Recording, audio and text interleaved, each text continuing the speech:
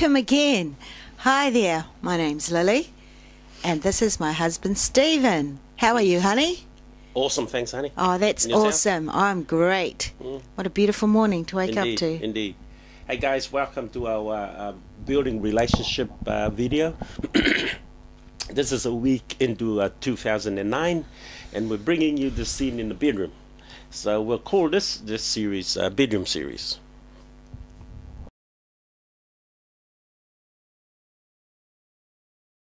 Or the bedroom scene. Whatever. It's not porno, so uh, we're not going to go there. However, uh, today's series is really about utilizing your bedroom as one of the most um, important area in your house where you can build um, a great relationship with your partner.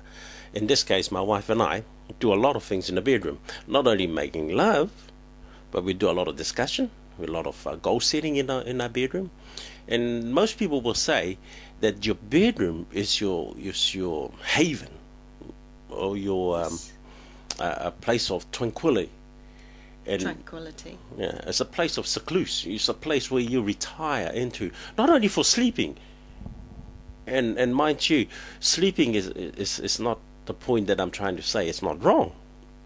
But most people only use their bedroom for for sleeping, getting up, out of the door, and they're gone away from the most beautiful place or surrounding where they can they can build a lot of things from.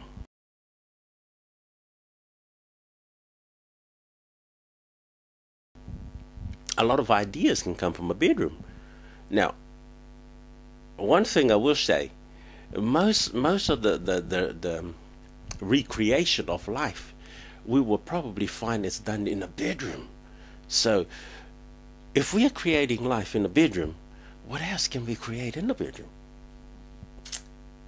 Absolutely wondrous things. What do you think? Well, Ideas, Mm-hmm. businesses, um, create creating something new. Um, just anything really. You set your mind to. You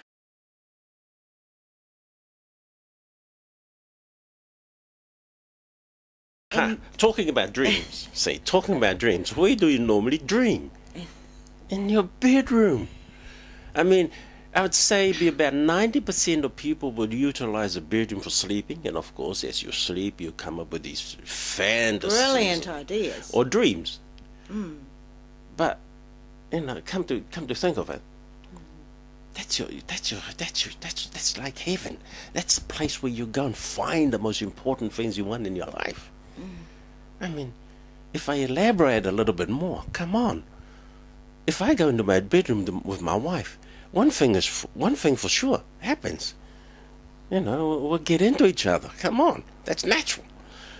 Now, going beyond that, there are a lot of things that can come from a bedroom. Mm. You know, like Lydia just said a moment ago, ideas. Such things as ideas as what are you going to do tomorrow? Those are the simple things. As a, as, as longevity, perhaps you look a bit more uh, towards the future. You can sit in your bedroom and just let your mind wander. It's one of the most beautiful places you can be. Bedrooms. A lot, see, so what, why we're saying this is we, we do a lot of discussions in the bedroom. Our business, in, in all effect, starts from a bedroom. So when we get up in the morning, we'll, we'll, we'll, we'll start with a prayer, and we'll sometimes, on most occasions, we'll read the, the holy the holy book. Now, the holy book also helps us because there's a lot of context in there that relates to today that can help you. You may not believe in a God, but I tell you what, there are a lot of things in here that you will read that actually relates to today's time. It's incredible. It was written, you know, 2,000 or 70,000 years ago. Mm-hmm. But it, it's still relatable to today's time. Now, I'm only saying that because this is what we do.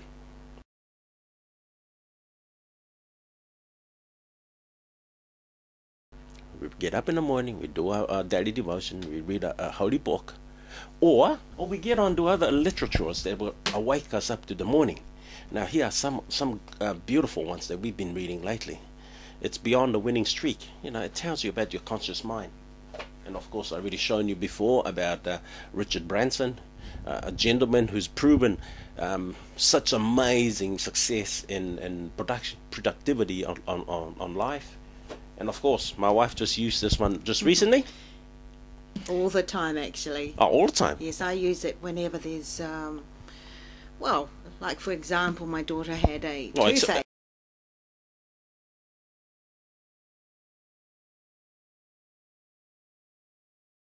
Alternative cures, so natural home remedies. So, I mean, you could go to the doctors, but I'd prefer to say a prayer first, and then that will also tell me what to do from home. So you can see a lot of things are going to happen in your bedroom.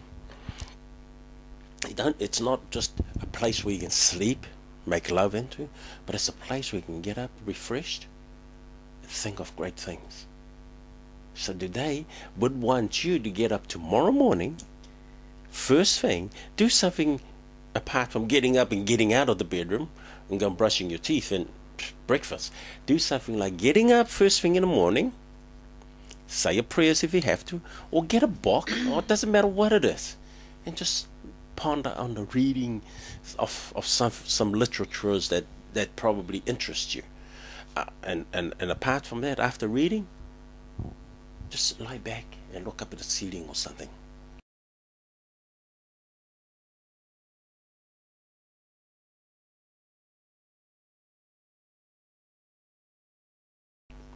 Look up at the ceiling and allow your mind just to wander a little bit. Maybe dwell on what you may have dreamed of last night. Now, to make it a bit more successful for yourself, I do suggest also, as one of our pointer, to have a piece of paper and a pen. And as you're thinking, and as you're relating back to perhaps your dream, record it down. Write it down, whatever that is. And as you're pondering upon them, this- your ceiling, and if more ideas come, write those ideas down on a piece of paper. You'd be surprised how much those ideas at that moment of time in your bedroom will become a reality for you. Why? Simple. Because you thought of it. That's right. It's your idea. It's, it comes out of your head. Most times we don't utilize the things that comes up here.